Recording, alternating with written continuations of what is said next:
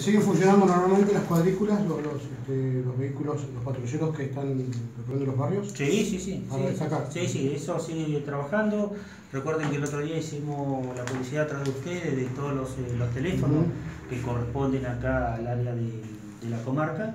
Eh, la idea es que todos los vecinos tengan esos teléfonos para que se puedan comunicar eh, no solamente con el móvil de su cuadrícula, sino con los móviles que ellos necesiten y requieran en ese momento. ¿sí? Es una información pública y la idea es que todos los vecinos lo tengan. ¿sí? Eh, bueno, estamos con el tema de las campañas, estamos con el tema de las vacaciones de los chicos, así que eh, recomendarle a los conductores que tengan suma precaución.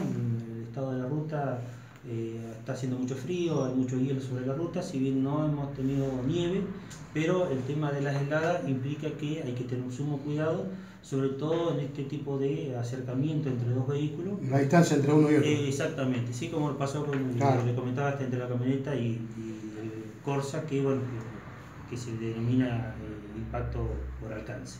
¿Está Así en que- el operativo nieve? El operativo nieve, acordate que está eh, habilitado hace casi 20 días atrás, donde se está haciendo control no solamente sobre Ruta 22, sino también por 237, con las unidades que están sobre la vereda, eh, por ejemplo el Chocón y Picún, en caso la 237, y la gente de tránsito trabajando sobre la 22, haciendo lo que nosotros de- de- denominamos eh, el PAC, ¿sí? patrulla de camino, donde bueno, un móvil recorre el sector correspondiente tratando de, eh, de asistir o de informar a los, a los turistas que tenemos sobre, sobre esa ruta. ¿eh? Así bueno,